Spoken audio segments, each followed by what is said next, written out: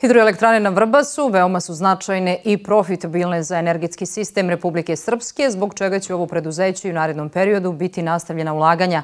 Ovo je rečeno na sastanku predsjednika vlade Radovana Viškovića sa rukovodstvom Hidroelektrane na Vrbasu.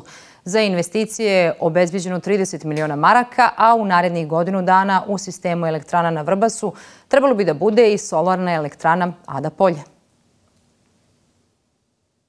Izgradnjom solarne elektrane nadomjestit će se manjak vode tokom ljeta i time će, prema riječima direktora Gorana Milanovića, sistem proizvodnje biti zaokružen. Ovo nije jedina investicija u energetski sistem na Vrbasu.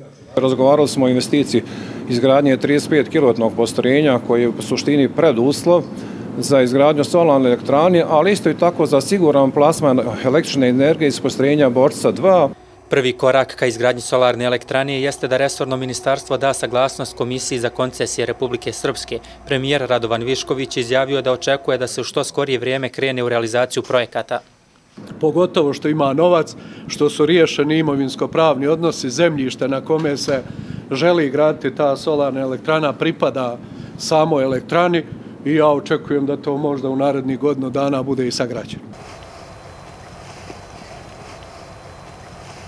Upravo na ovoj lokaciji planirana je izgradnja solarne elektrane Ada Polje. Instalisane snage je 10 MW za izgradnju solarne elektrane, ali i dodatne investicije u okviru hidroelektrane Bočac već je obezbijeđeno 30 miliona maraka. Prema riječima premijera, hidroelektrana Bočac predstavlja jednu od profitabilnijih i značajnijih elektrana za energetski sistem Republike Srpske. Veliku ulogu imala i prethodnih dana regulisanjem protoka vode kada su Banja Luka i ostala naselja nizvodno ostali zaštićeni od mogućih poplava.